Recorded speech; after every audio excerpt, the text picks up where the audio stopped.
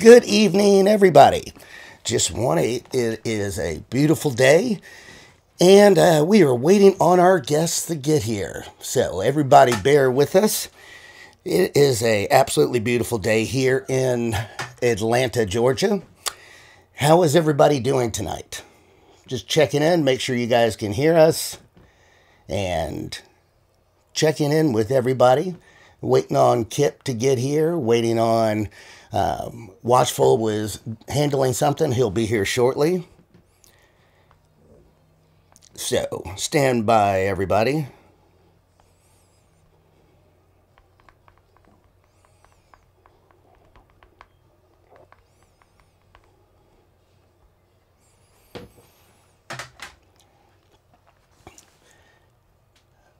So, Kip has some really interesting information. She has studied what happened this past weekend, and it's it's actually really compelling. The I'm sure you guys are aware of that we had an earthquake and a lightning strike at the exact same time. It was it was really interesting.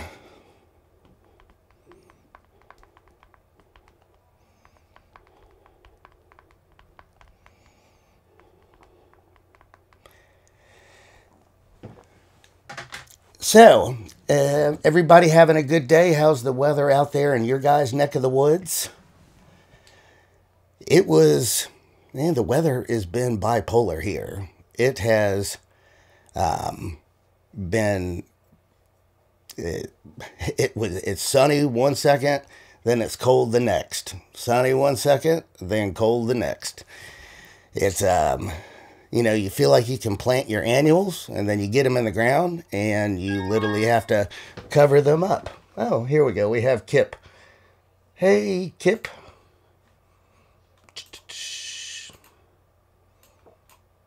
Hey, Kip. Um, How are you? I am good. I am good. I uh, I've been going back and forth with my my son all night. He's like, "Mom, you got to take the baby tonight. You got to take." I'm like, Nope, nope, nope. I just got back from a long trip and I am exhausted and I'm not going to entertain her. I'll get her in the morning. So, yeah. How are you doing? Well, I'm good. I'm good. Um, took a flying trip to Missouri. And um, while I was there, you uh, texted me about the um, the earthquake and um, the weird thing was, I was sitting at a table with with some friends, and they were getting a hold of some friends in New York that were right there in the earthquake. And so they were giving us, you know, the scoopity doo on exactly what was happening there. And uh, so it was really fun. And then um, I was in a place where I barely had any internet. And so on my way home, I'm driving and I'm talking to my daughter on the the phone and I'm like, look up this person, look up that person. We're being sleuthy sleuths and we're doing all this research.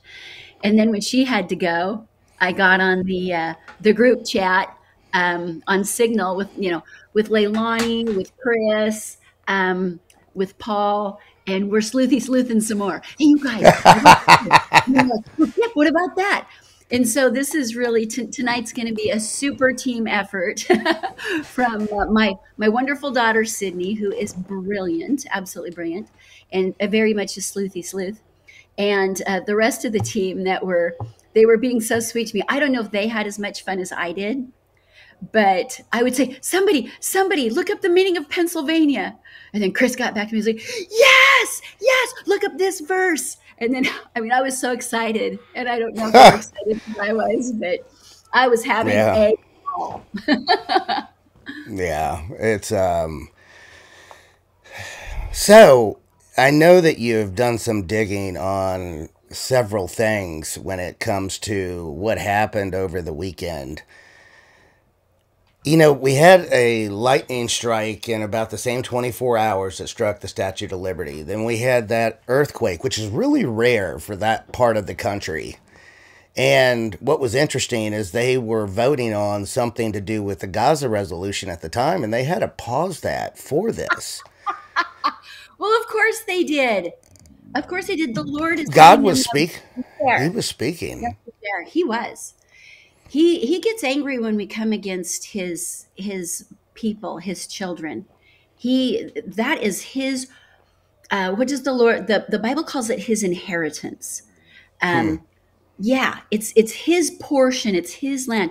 When when the whole world comes against this little piece that he kept for himself as his beloved, um, he he's an he's an angry, jealous, jealous uh, lover, to put it put it mildly. Yes, he yeah. loves people, and he is an angry, jealous. You don't come against his his bride. You don't do it. You yeah. just don't do it. So these people, they're in some trouble. They're in some trouble. yeah, so I, am looking forward to hearing what you researched and what you found, other than just, you know, it's, you know, the, just the basics alone is prophetic enough. You know, that lightning strike on the Statue of Liberty was like a wowzer. And then, you know, the East Coast doesn't get earthquakes.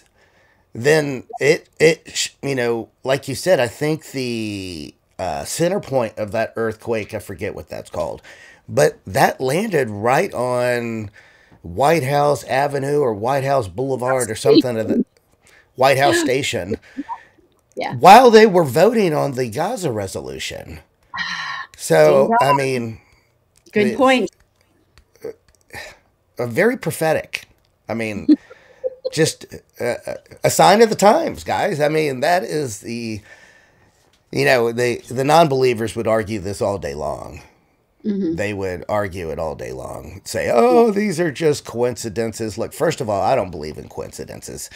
Everything happens for a reason. Mm-hmm. But well, what and, what have you come up with? Well, Chris said something in the chat today about coincidence. Uh, uh, Chris Kenny, and uh, he said that at some point coincidence becomes a mathematical impossibility. I think we might mathematical possi- uh, impossibility in just the last two or three days going in through the eclipse. We're we're already yeah. There's no way any of this is an accident. There's no way any of this is a uh, coinky dink.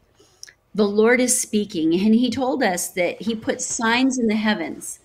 Um, the, the sun, the moon, the stars, they are signs to speak to us.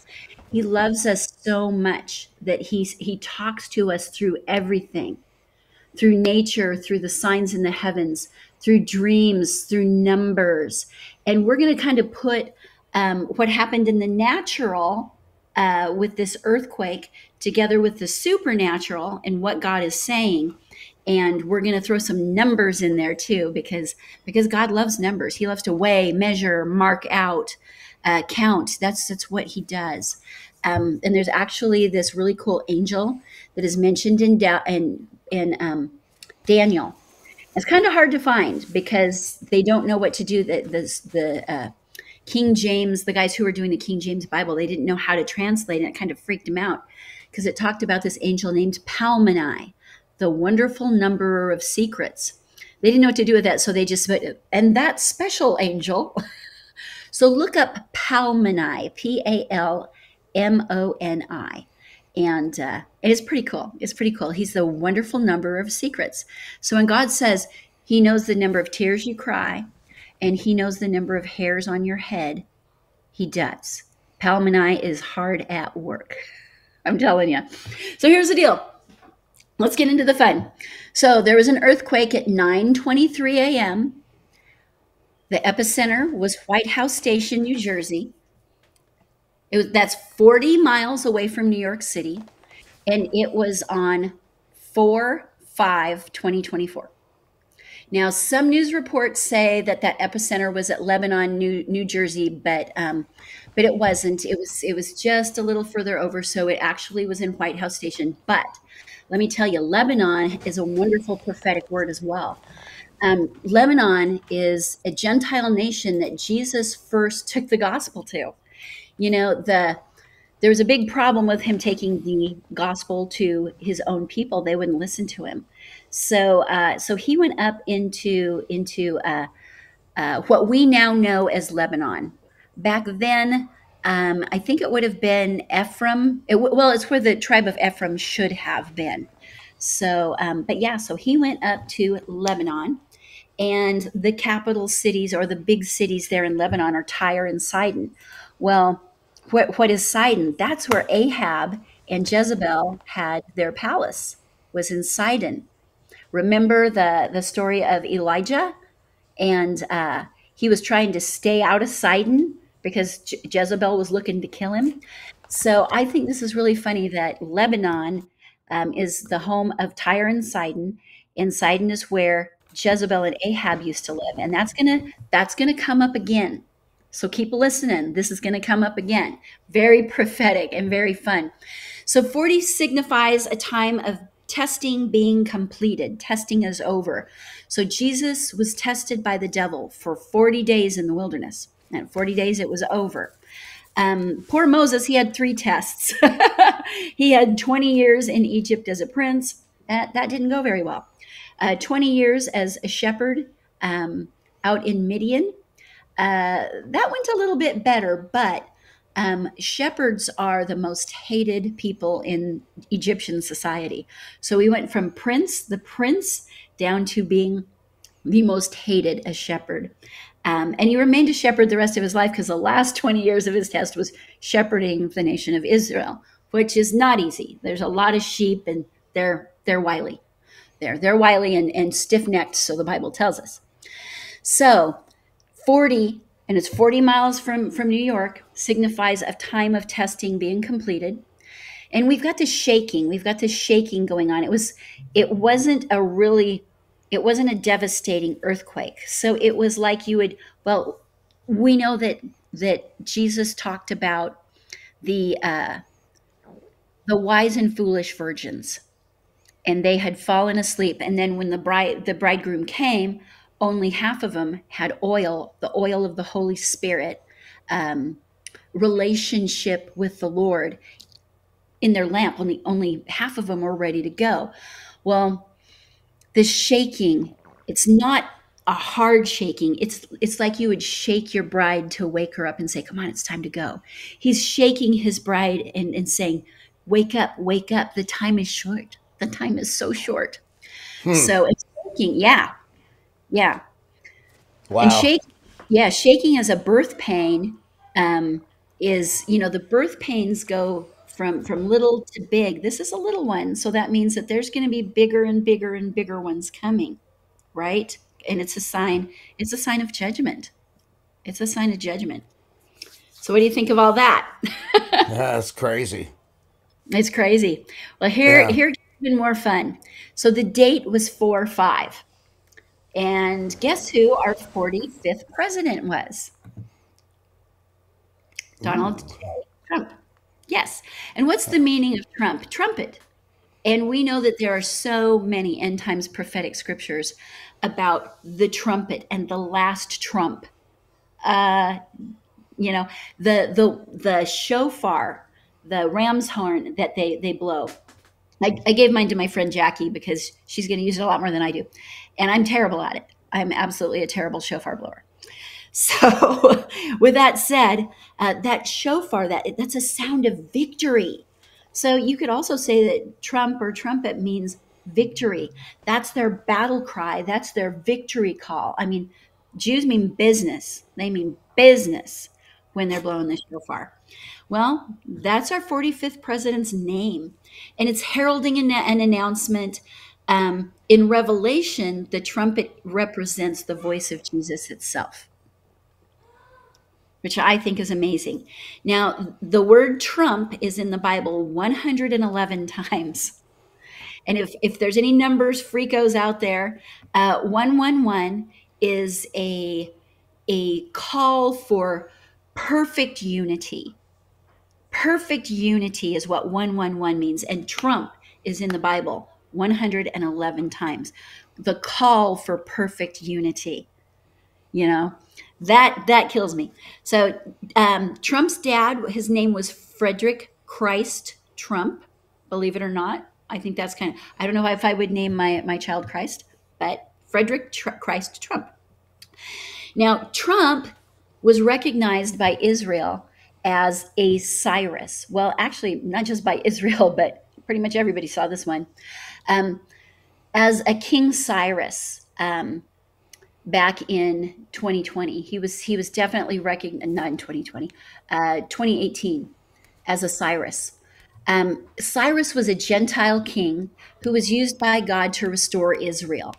Um, he was that's when Israel was in the uh, the Babylonian captivity, and they were they were supposed to live out this 70 year sentence. Well, at the end of the 70 years, Cyrus was the king. And God actually used Cyrus to send the people back. Oh, and wow. did he send them back? He sent all of the booty they had taken from the temple back as well. Only God can make that happen. Only God can make that happen. So, anyway, uh, so Trump was used by God to officially recognize Jerusalem as the capital of Israel. So it's it's very much a type and a shadow of what Cyrus did to restore Israel. Trump restored um, Jerusalem as the capital by officially recognizing it. No other nation would do it. We had so many presidents. We had probably five or six presidents at that in during my lifetime who promised that they would recognize Jerusalem as the capital, and they never did. Not even Ronald Reagan. And everybody's, "Ooh, Ronald Reagan's so great," and I love Ronald Reagan, but Yeah. he didn't keep that promise, and that was a promise to God. Yeah, they, it's, you know, frankly, out of really all the presidents that we've had, let's say over the last 50, 60 years, we've only truly had two presidents in this entire time that were truly uh, spirits of Christ, meaning they were truly on the good side. And that was Kennedy and our previous administration, um, JT or D, DJT or whatever. The rest of them were uh, wolves in sheep clothing or lambs and whatever. But you, you get my point. You know, a lot of people liked Reagan. He, you know, he did a lot of good, but there was some behind the scenes, some very deep, uh, disturbing information about him. The same with all the previous Bush's administration. all of them, including um, our current administration, and then the man before our previous administration, Obam Bam, and then all of the the presidents through the nine through the through the nineties. That gentleman that was you know had Monica, Monica Lewinsky in his office. all of these presidents that I just named, every one of them, you know, the husband and wife, people that are obsessed with power, the oil rich company um, presidents, you know, the you know, like the can of beans Bush, and then oh Bam Bam. If you actually research them, they're childhood friends. There's photos of every one of them hanging out on Bush Senior's ranch at like 13 years old. This is an orchestrated cult control. And they have all they have all been a part of the plan, starting with Reagan through to the, you know, uh, I'll just say it, Clintons, and then the Bushes, and then oh bam bam. It was essentially the exact same administration the whole time, ran by the people behind the scenes, controlling everything. And the funny thing is, you would think that that Trump would be a part of that.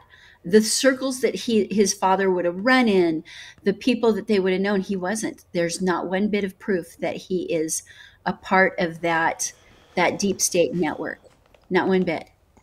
So, and you know, Nancy Reagan was having seances and stuff, uh, having her her psychic come to the White House. Uh, I don't know how much Ronald was in, was uh, involved in that, but I, know that it's very well known that that's what Nancy was doing. Even while she they were in the White House, she was found out, and uh, I can't remember the name of her her psychic, Jean something. I can't remember. She was, she was They're, Hollywood they're, like every one of them, their roots are satanic. they may say and try to paint a picture of something different, but that's just the reality of it. They're all part of the skull and bones. You know, they're very cultish, and it doesn't matter how you dress it up. Either you are on Team Christ or you're on the other team. And all the other teams may have a facade on their front side, but it all goes to the same team, which is Lucifer's team. It's it's just that cut and dry. There's not so many people get confused with a variety of options. There's only two. the same. there, yeah. you you have Team Christ or you don't, and the alternative is what it is. Yeah, you can't sit on the fence. The devil owns the fence. So, um, but anyway, so so back to Trump and Israel, and when he when he um, when he recognized Jerusalem, they were you know oh as the capital. Um, the nation was so excited. They minted a Trump is Cyrus coin, a coin with Trump's face and Cyrus's face right next to him.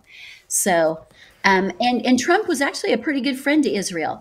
Uh, he may not still understand the utter folly a two-state solution because you know he's he's the art of the deal guy. He likes to bring all sides together and make a deal. That's what he's known for. And unfortunately, um, trying to do a two state solution will be devastating for our nation. And uh, uh, so, and maybe that's why he wasn't in in office that second term is because the Lord is okay. I'm not going to allow you to do this. I don't know.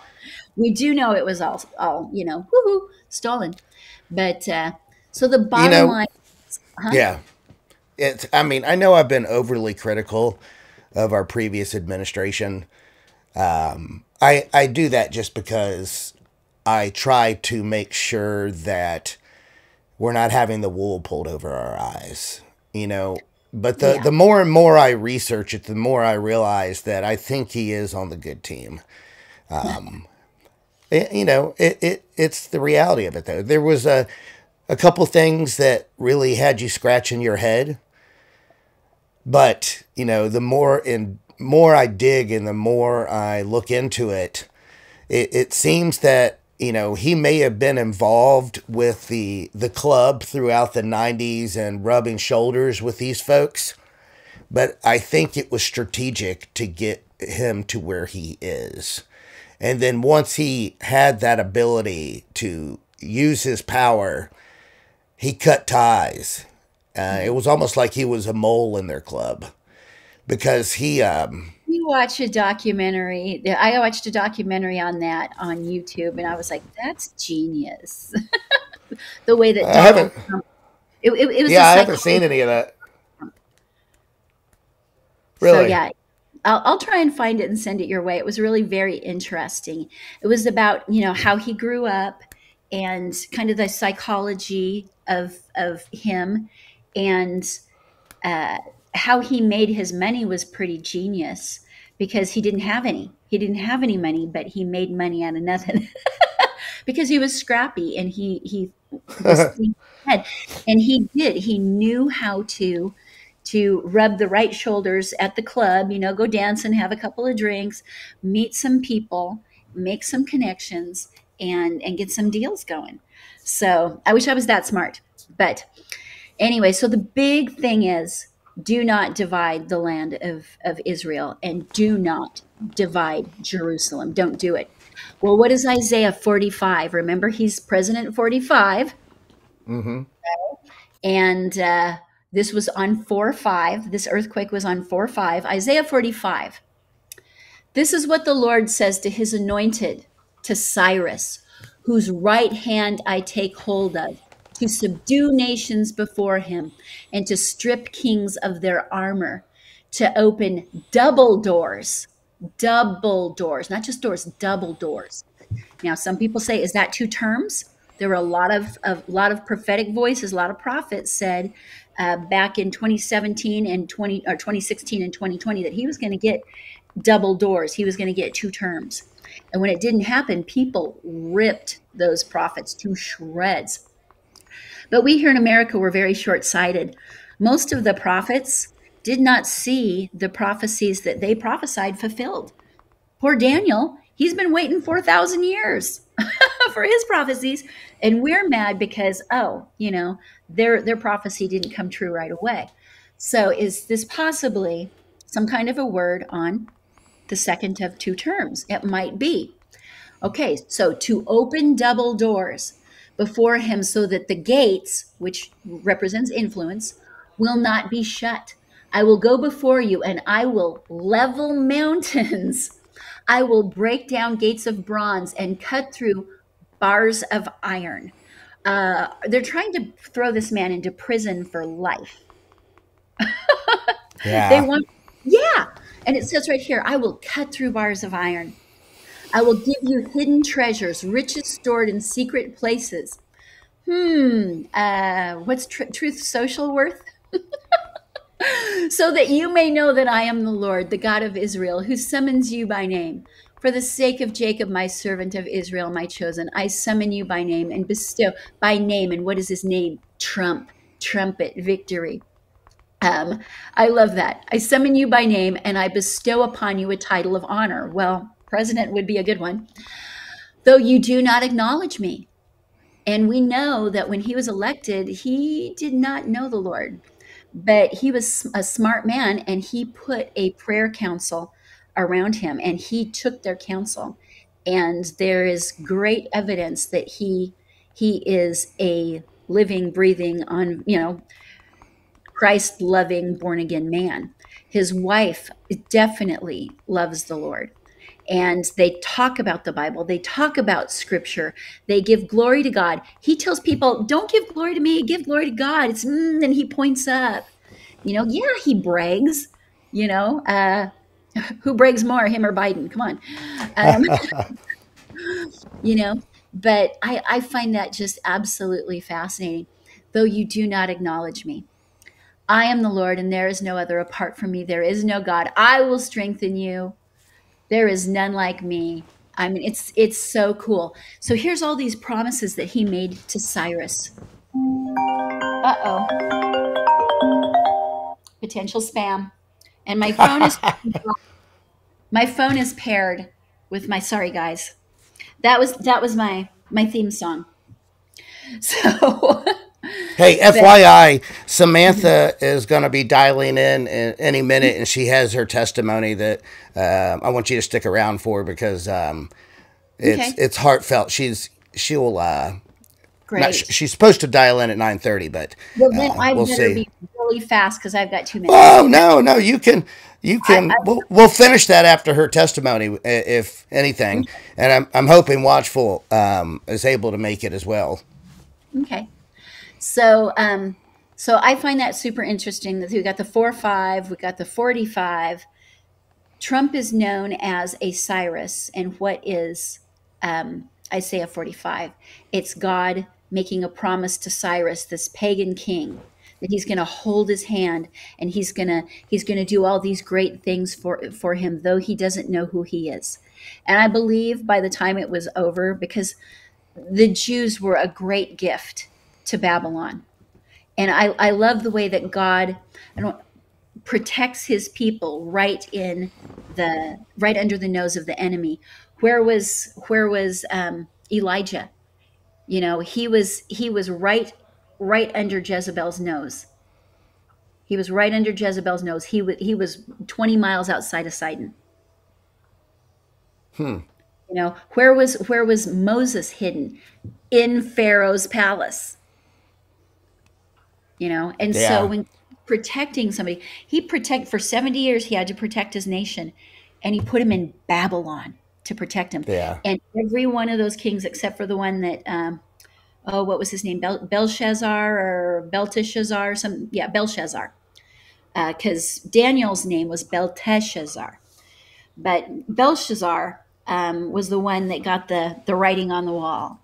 Um, but all those other kings they eventually saw, oh my gosh, your God is God. So now here's the other fun thing. So it was for this this quake was 4.7 on the Richter scale.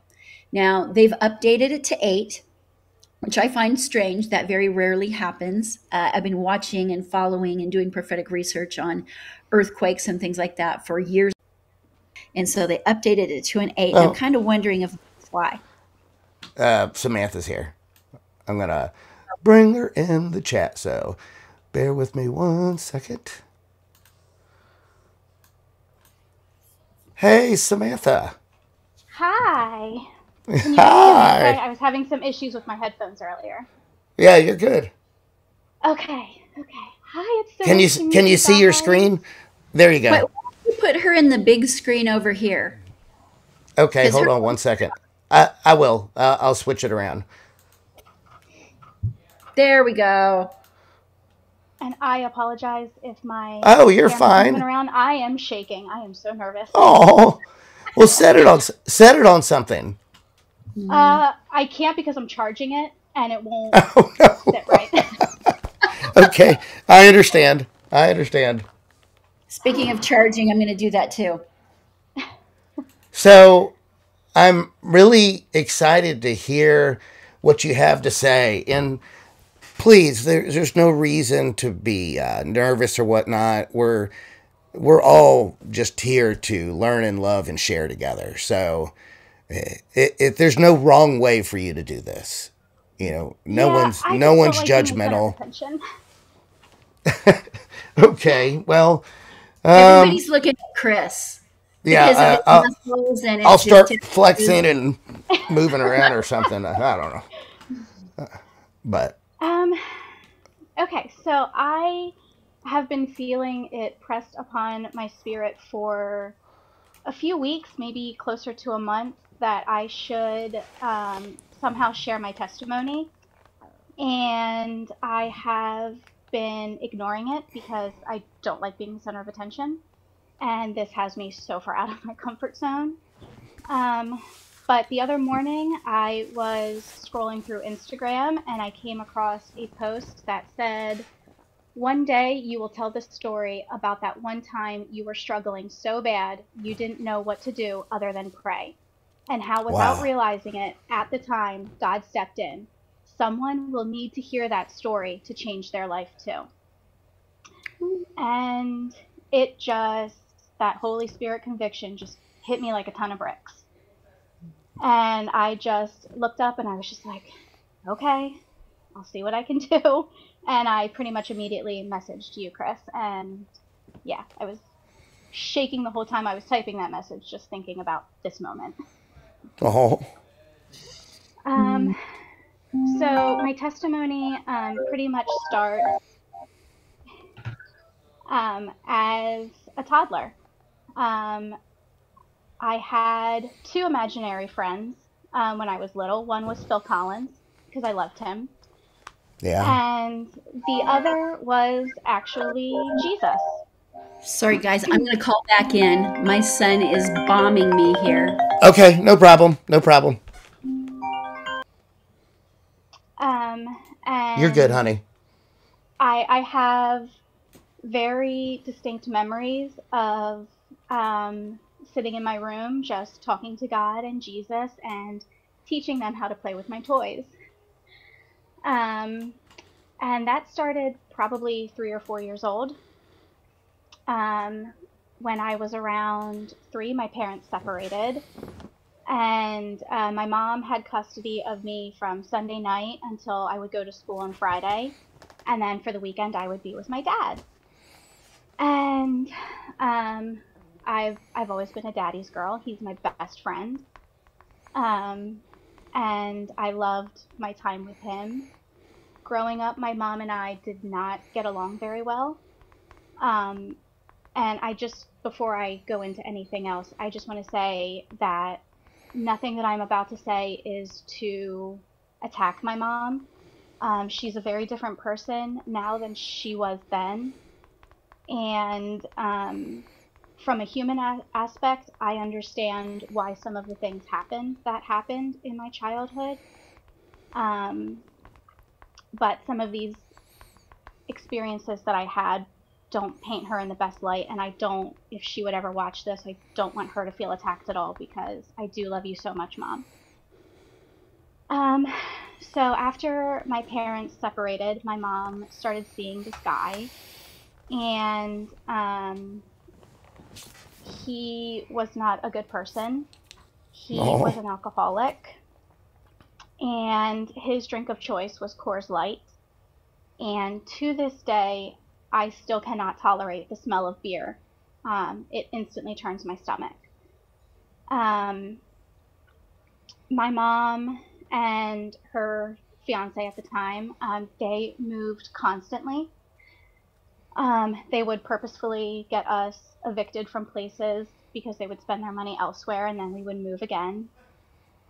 Um, and there, there was this one club in my hometown, um, like a private bar, um, that they spent a lot of time in, and they would take me along. And um, yeah, it was not a good place for a kid to be, obviously. And we would be there so late that at night, after the kitchen closed, I would have to take my sleeping bag into the kitchen and lay down and go to sleep on the greasy, gross kitchen floor of this bar. And um, I don't remember exactly when my mom's fiance started um, abusing me. But uh, when I eventually told my dad about it, um, I worded it to him saying that he was giving me my baths and he was cleaning me on the inside too. Oh no. I am very blessed that God doesn't allow me to remember those exact moments. I just remember the exact bathroom that it happened in. And I remember telling my dad, and I remember him taking me to children and youth and having to tell a stranger, some strange man, what was happening. Um, I remember he had this piece of paper with like the outline of a girl's body, and I had to point to where the abuse was happening. Um, and no one believed me except for my dad. They, living in Pennsylvania, it's a very pro mom state, and um, everybody just thought my dad was coaching me to say those things because he was jealous that my mom was with somebody else. Um, and and my dad tried everything that he could to get me out of that situation. And I I remember one Sunday night particularly when he was taking me back to my mom's and my mom actually had to call the police because I just refused to get out of my dad's car. And um, yeah, I, I remember actually like grabbing on to like the seatbelt as they're trying to like pull me out of the car because I didn't want to leave and go back there. And eventually, my mom and he broke up, and we moved in with my mom's younger sister and her husband and their two daughters. And my older cousin and I did not get along at all. So I hated being there with them. Um, eventually, she started dating somebody else, and um, he was he was an okay guy, except um, I was just part of the package. He didn't really want a kid or anything to do with a kid. And um, eventually, they broke up, and we moved back in with my aunt. And then she started dating somebody else, and he was also an alcoholic. And um, when we were living with him, I remember more than once um, he would just be really drunk, and in the middle of the night, he would just get into a fight with my mom and kick us out in the middle of the night. And um, uh, eventually, they broke up when he moved to another state. Originally, my mom was going to move with him and take me along, but uh, my dad um, contacted his lawyer, and that put a stop to that, thank God. Um, and then um, we would move back in with my aunt. And at this point, uh, my mom was single for a little while. We were just living with my aunt. Um, but because I, again, didn't get along with my older cousin, I hated being there. And so when my mom started taking um, evening courses at a cosmetology school, I um, started staying with um, someone who lived across the street from her one ex. And um, on the night of April 3rd, 2001, um, I was 11 at that time. It's actually the night before my 12th birthday. Um, her, the babysitter's stepdad, um, came over and um, he, uh, I hope this doesn't get any sort of flags, but Yeah, just choose your choose. Okay. sorry. No, no, you- you're fine. It is it is what it is. It's you you saying what you have to say is more important. So you're you're fine. honey. luckily that was not as bad as what happened with the first guy um, but it, it was one of those moments I, I remember that every detail of it perfectly um, the next day i reported that to my teacher and um, that night i told my mom and I I remember her just bombarding me with a million and one questions, and um, after a couple minutes, just putting my hands over my ears and just screaming, "I don't want to talk about it." Um, the day after that, um, I did a walkthrough with my mom, my babysitter, and my babysitter's mom, telling them exactly what happened and how it happened. And then after that, my mom took me to a police station and I had to give a statement. Um, on the 16th of April, my my pap died, my mom's dad, after uh, a fight with cancer. And approximately a year after that, I um, attempted to unalive myself for the first time. Wow. And a, a friend at school figured out what I was attempting and um, reported me. And so I remember sitting in the school's counseling office, um, having to call my parents to tell them. And I remember when I told my dad that he was just very, I'm gonna cry. Um, he was very kind and compassionate and loving. And then I called my mom, and she yelled so loud I couldn't even hold the phone up to my ear. And then at that point, she had quit smoking for two weeks and blamed me for the fact that she was starting to smoke again. And that was kind of the start of me dealing with a lot of depression and anxiety. And over the next few years, I had um, attempted to unalive myself multiple times.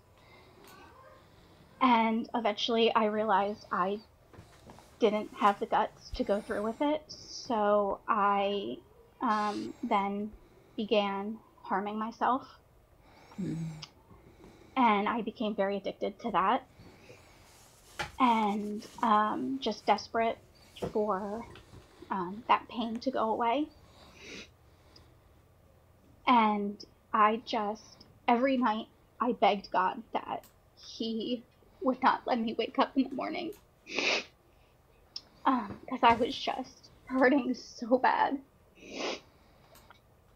And every morning that I woke up, I got so angry with God because at that time I was maybe 16 and it was just, you're all powerful. Why can't you just take this pain away? Yeah.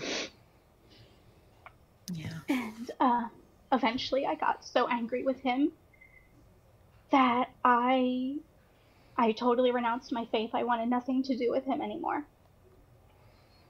And um, I was just on top of all the hurt. I was so angry. And um, eventually, about a year later, I started dating um, my ex husband.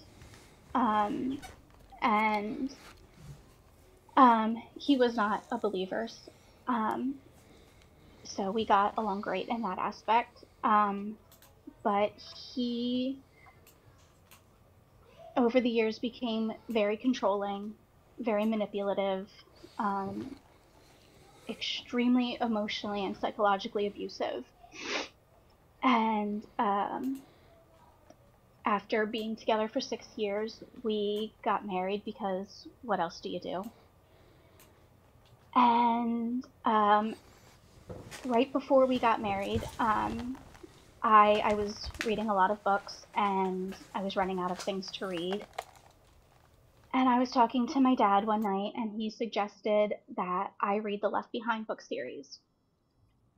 And I was just like, nah, I don't I don't want to read that. I have no interest in that. Um, side note, I, I this whole time I had been lying to my dad about renouncing my faith. As I was talking to him, it was still, oh yeah, I still believe in God. I still pray. Been there. Um, yeah, because I knew how important God was to my dad, and I didn't want to disappoint him. And I felt like, out of anything I could ever do in my whole life, that was the one thing that could make him like disown me. Um, and he kept suggesting that I read a book series, and hindsight being what it is, I now know that that was the Holy Spirit working on me through him. And I, I had read so many different fictional book series about all the different ancient mythologies Greek, Roman, Egyptian. I've even read mm. fictional series about Wicca.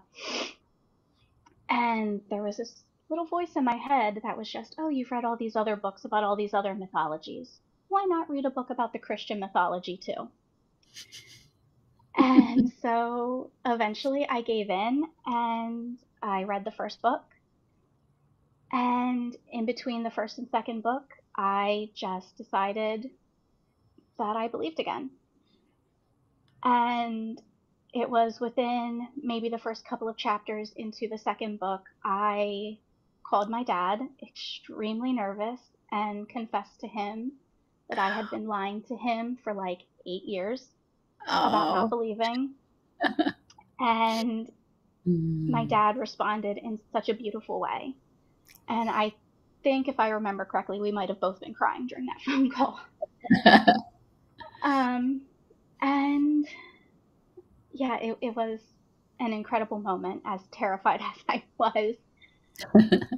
um, and um, I can tell you something really quick. I think it's amazing that it was the Left Behind series mm-hmm. that he had you read, and it was the Left Behind series. Something in there brought you back, and here we are. We're we're in the end of the end. We're in the last hours of the last minutes. Yes. You you are the best of your bloodline the best of every bloodline is on the earth right now for such a time as this. This is the time that every other generation has has wondered about, has thought about. Um, you know, they, every generation thought we're it, we're it. You know, no, right. we are it.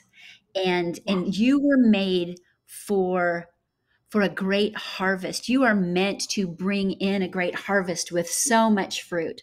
I cannot wait to see you in heaven with your crowns and and all the people around you that you brought into the kingdom that you had a hand in because it's going to be amazing.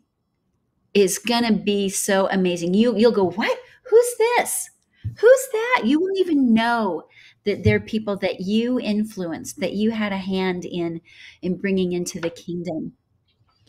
And, and I just love that it was the Left Behind books that got you to realize this is your time. This is who you are. You are an end times warrior, girl. You are an end times yeah. warrior. And I should also mention that even being a young kid, I've always been interested in the book of Revelation. It's always drawn me for some reason. Mm-hmm. And um, yeah, it, it was shortly after that that my um, ex husband noticed a Bible app on my phone because I figured if I'm reading this book series about the book of Revelation, I should probably reread the book of Revelation because it's been a minute. And he got so angry, he actually took his wedding band off and it missed me, but he threw it at me and said, If you're going to believe in God, I want a divorce because how dare you love something more than me? Wow. And sorry, I had to I had to close my screen for a second. I was struggling, so I apologize. But continue, please. Um, eventually, um, my ex-husband, probably using that as an excuse, had uh, began having an affair, and I realized, put two and two together by the way he was acting, and so we separated. And I had a period of time, about a month, where I don't really know how to explain it. It almost felt like not a spell, but like I just had no control over my thoughts because I was just out of my mind with grief from what was going on with my ex husband. Mm-hmm. And I started doing a lot of things really out of character. Started drinking, um, not heavily, but more than I ever had. And there was someone that I knew back in middle school who I started um, hanging out with. And um, we had been drinking a little bit one night. I wasn't drunk, but I was tipsy. He was very drunk. And he ended up um, uh, the R word. Oh, no. Um, and it took me months to come to terms with that um, that that actually happened i i never reported it because nobody believed me when i was a young child. Nobody believed me when i was 12 um, uh, i forgot to say that with the thing that happened when i was 12 that did eventually go to court and um, he was found not guilty. Um, so I I never reported it because why would I put myself through that all again for the third time? Um, and shortly after that, um, my now husband and I started dating, and I'll never forget right after we started dating. Um, he just he really helped pull me out of this just really deep depression that I was in over everything. Um, because at that point I was just a shell. I had lost over 20 pounds from not eating from stress. Um, my cheeks were almost like sunken in from the weight loss. Um, and I couldn't even make eye contact with him when we first started dating because I was just so used to just trying to make myself as small as possible and not be seen and not to bring attention to myself. Um, and he and I moved in together after about six months of just dating. Um, and again, hindsight being what it was, I realized that I was just living so incredibly lukewarm um, I was saying about how much I love Jesus, and um, I was, you know, reading my Bible or listening to it if I was at work, and um, but I wasn't really living like somebody who follows Jesus. I was still just kind of doing whatever I wanted and how I wanted. and while my now husband and I were engaged, um, I ended up, well, actually, right around the time we got engaged, I ended up getting pregnant. Um, and um, we ended up getting engaged and then getting married like two months later because of something going on with, with his daughter. She was possibly moving to another state, so we wanted to get married before she left. Thank God that fell through. Um, and it was kind of around this time that uh, my dad and I started getting together weekly for a Bible study. Um, we were watching AOC Network videos, which just really touched my heart, Chris, when you sent or shared an AOC Network video a few weeks ago, because that's what really started this whole journey for me and really getting super deep into my faith. So that just really touched me. And um, yeah, those videos are amazing. So if you haven't checked those out, please do because they're incredible. Um, and I slowly started realizing that um, I needed to change the way that I was doing things and the way that I was looking at things. So it started really subtly, listening to my Bible more often, watching more videos online, um, and eventually that led me to your videos. And um, I I started going through all the music that I listened to and getting rid of anything that had any foul language in it. And um, and then eventually, maybe about six months ago or so, I deleted all the music off of my Spotify and switched to strictly just worship music because I really felt it pressed upon my spirit that I need to be firmly planted in the kingdom and stop having any part of myself in the world. And um, I know some people in my life have thought that I'm totally crazy for what I'm doing, but I'm just doing what I feel led to do. And at the end of the day, I'm not going to answer to any man. I'm going to be answering to Jesus.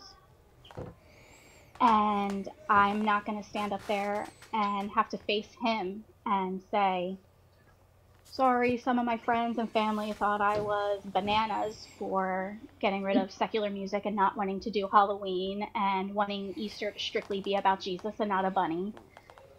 Um, yeah. But yeah, and and in in the past few years that this journey has been happening, I have had some really incredible experiences with with Jesus from the Holy Spirit convincing me to read Left Behind to um, nights that I would be outside with my dog, um, just looking up at the night sky, just praying really, really hard about something. And all of a sudden, I, I would see a shooting star. And that's happened multiple times. And while some people might say it's a coincidence, yeah. If you know, you know. And we know mm-hmm. Jesus, and there's no such thing as coincidence. And there's also not that many shooting stars. there's yeah. not. Yeah. And there there was another time I was outside praying really hard. And though I couldn't see him, I I felt like as I was looking up at the sky that I was looking directly at him, like a legit face-to-face conversation. Mm-hmm. And anytime something like this happens, I always call my dad right away. You'll never believe what happened. And I just it's just such an incredible feeling. And and there's been times um, when I worked a second shift job on the way home from work, I would call my dad, and we'd be having like a good Bible study type discussion. And and twice, I'll just stop and say to my dad, "Do you feel that?" He's like, "What?" And I'm like, "I really, really, really feel Jesus." like he's right here. And then my dad, being the goof that he is, he goes, Well, he's always right there. and yes, I know, Dad, he's always there. But this was like infinite times that. And. You, you know there... something else I love? this is what I really love about your testimony. It's how close you are with your dad and how much you love your dad. And I just have to say that one of the reasons you have no problem seeing God as a good father anymore is because your your earthly father is such a good father. You've got an example of the Father in heaven. And and I can understand where you would be upset and disappointed, like, God, why didn't you protect me? Where were you? And you know what? He was right there and he was hurt and he was grieving for you and he was grieving with you. It, it'd be great if he could just snatch us out of every terrible thing that happens, but he's not a genie in a bottle. Right. But he's a good father and he gave you a good father so that you would never, ever wonder again. Yeah. And no offense to any dads watching this, but I truly have the best dad ever. he is. I, you do. incredible. And um, eventually, like when I told my dad all of this, at one point, he had such a beautiful response to why I was so angry at God and why didn't you get me out of this and why haven't you taken away this pain? And he very simply put, look what he let his own son go through. Look what mm-hmm. Jesus had to go through. Of course, he's going to let us go through things because look at what Jesus went through. And that just hit me so hard because he's absolutely right. Yeah. And yeah. Um, my two of my favorite Jesus um, experiences, if you will, um, was one was a couple months ago at work. Um, I work at a college. Um, basically, I'm a custodian there, and I was cleaning our indoor pool. And I just had worship music on, and I'm jamming and I'm singing out loud. And thank God no one was around to hear that because no one wants to hear that. But all of a sudden, I could just really, really mm-hmm. strongly feel his presence. And as I'm sweeping the bleachers and, and singing and um, doing a little wiggle um, out of the corner of my eye, I see something. And for just an instant, I actually saw Jesus. Wow. And I know beyond a shadow of a doubt that it was him. Like it wasn't an angel, it, it was actually him. And I just stopped and I just sat down for a second and my eyes just like welled up. And I immediately texted my coworker and told her about it um, because she is, I have great coworkers who are, you know, men and women of faith, and it's wonderful. And yeah, that was so incredible. Mm-hmm.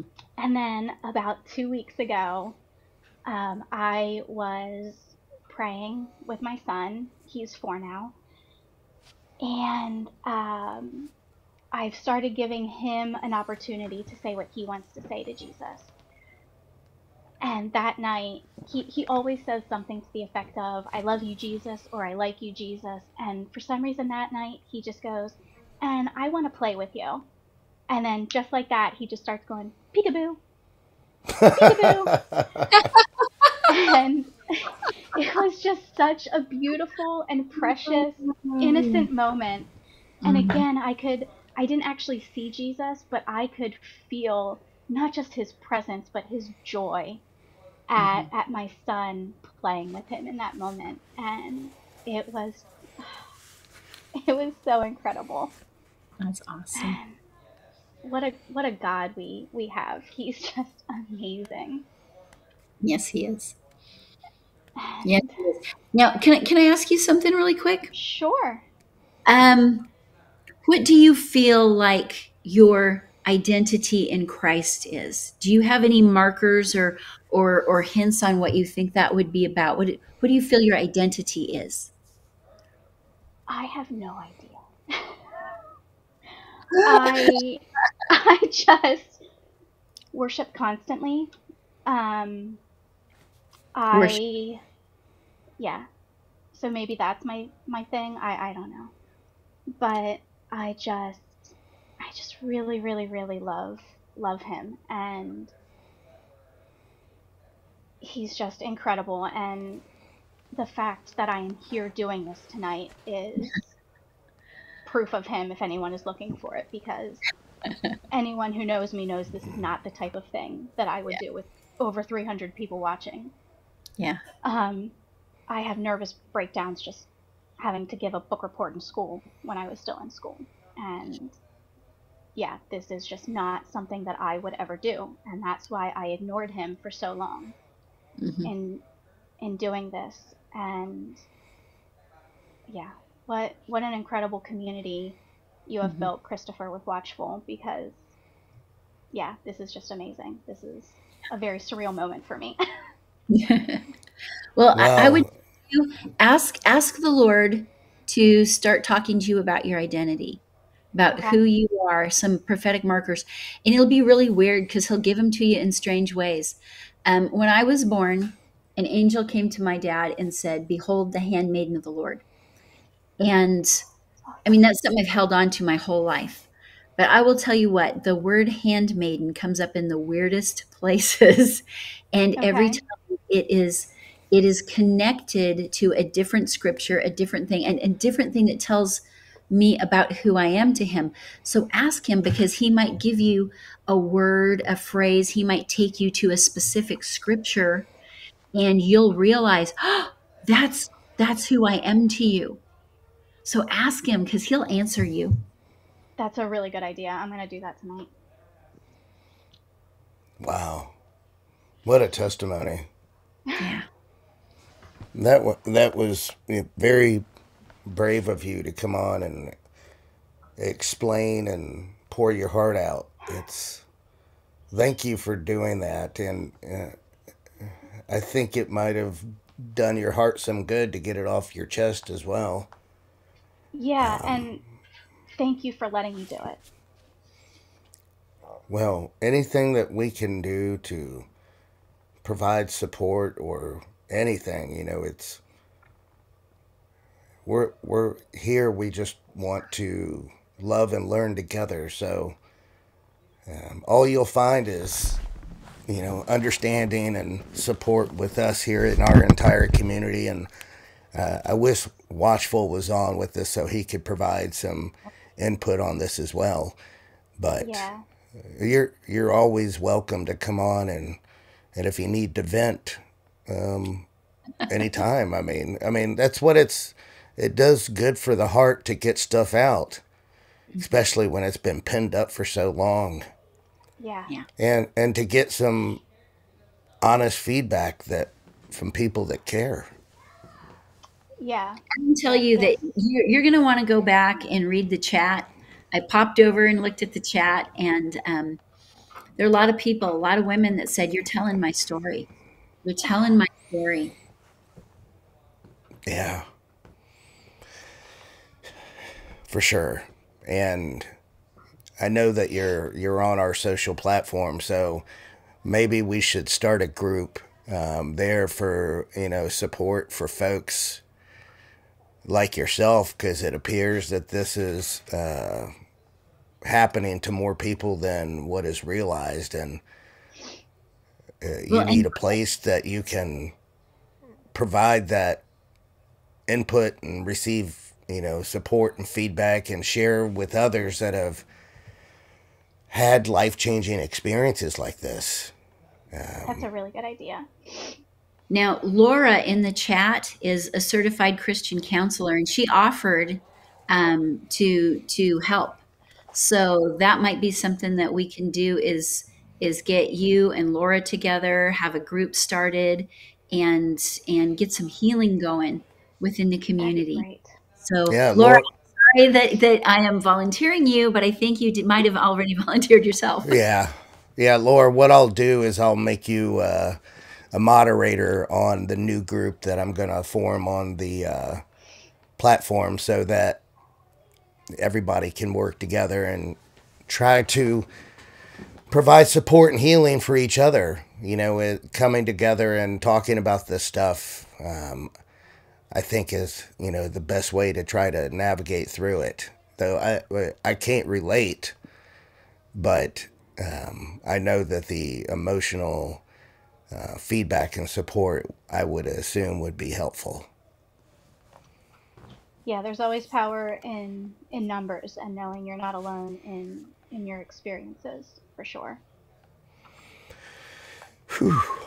Um, yeah. So uh, Samantha or Laura or anybody else that is in a you know that wants to be involved with this, you know, let me know what you guys want to have it titled as, and uh, I'll create it tonight, and so you guys can start to uh, heal together.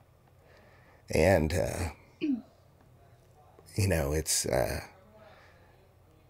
yeah. Sorry, I'm a little struck for words. It's um. For me, I, I struggle with stuff like this because I have daughters so my mind instantly goes to that, and um, it it creates some anger inside of me. So I have to choose my words wisely. So I apologize.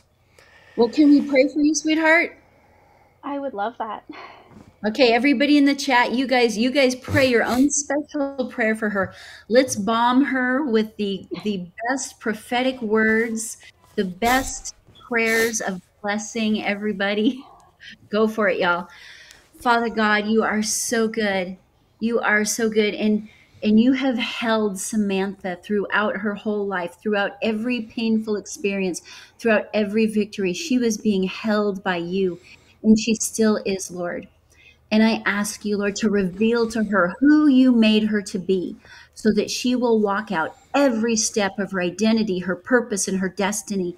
That every every person that she is to bring into the kingdom, that she would prophesy to, that she would serve, that she would get that opportunity, that she would not miss one person to bring into the kingdom so that you get your full reward. Lord, we pray that she would be fully victorious throughout her life.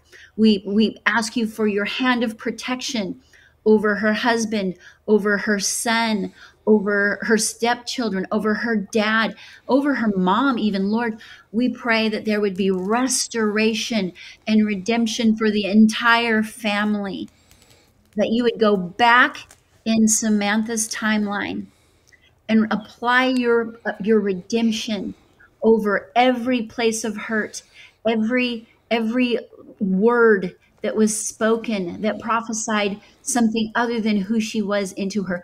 Go back over every broken relationship, apply your blood, apply your redemption, and bring something new tomorrow. Amen. Amen. Amen. That was beautiful. Thank you. Because Jesus is a time traveler. Hold, hold on, Grace. Let me grab my Bible for just a second.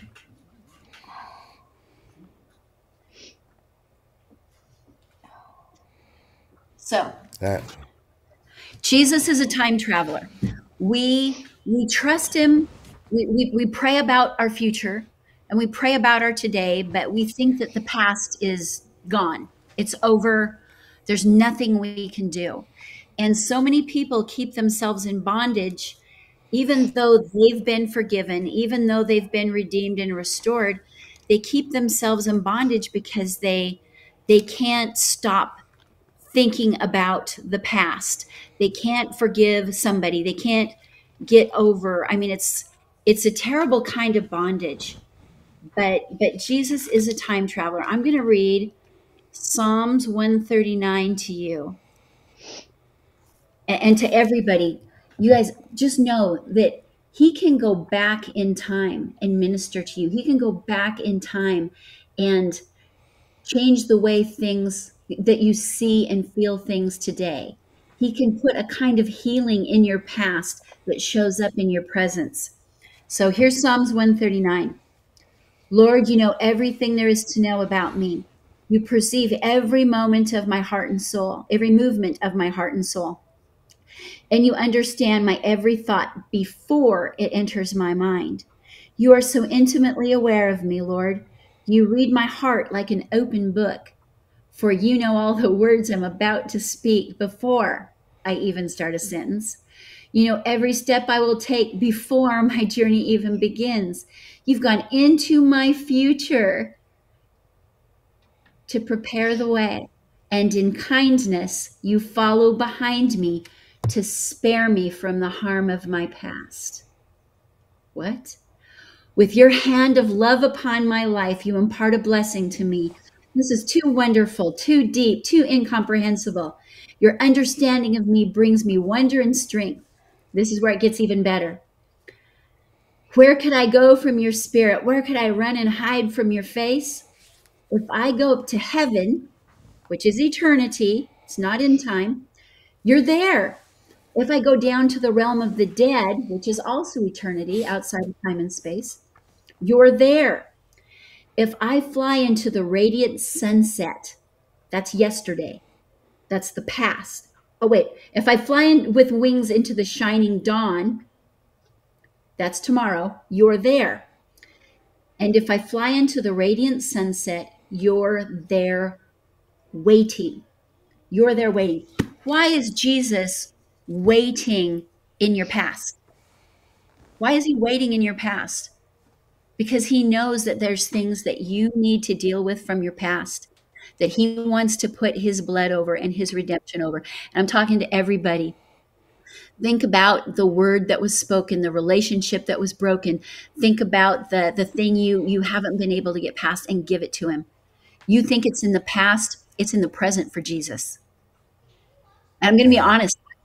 This is an unbelievable revelation of redeeming your time uh, from Pastor Troy Brewer. And he's got an unbelievable book on called Redeeming Your Timeline. And it, the testimonies that he gives, and I've, I've got some Redeeming Your Timeline testimonies myself of my own life that, I mean, are out, they're just drop dead cool. Um, yeah, go get that book and just believe Jesus is not subject to time at all. He's not. So there you go. That's what Psalms was that? What was Psalms was that? Kip? Psalm 139. 139. Yeah, and I was I was using a, a more modern translation, so Got that it. it. was more, yeah, so that it was more uh, poetic. yeah, you know, you know me. Well, um, we'll reconvene tomorrow night at nine o'clock. Um, this was an emotional testimony. So um, I'm gonna call it a night. It's uh, yeah. but yeah. but we'll we'll we'll get we'll get back on it tomorrow night at nine o'clock, guys. Thank you so much for coming out. Um, from all of us here, you know, watchful, uh, Kip and I, we, you know, we love all you guys and are very appreciative of your loyalty to us. And Thank you um, guys so much. Absolutely.